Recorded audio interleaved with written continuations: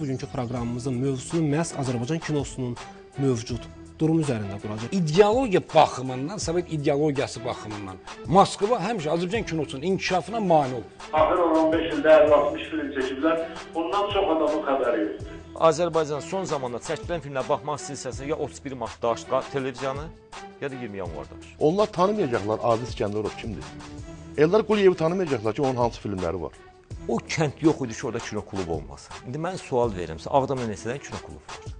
Amma kimin əlinə pul düşür, kim sponsor tapır deyir rejissor olacaq. Mənim başım çıxmır, bu cəmiyyət ancaq professorlardan, akademiklərdən, doktorlardan ibarət deyil ki. Azərbaycan kinosunun e, durumundan razı deyiləm. Çünki tamaşaçı e, razı deyil.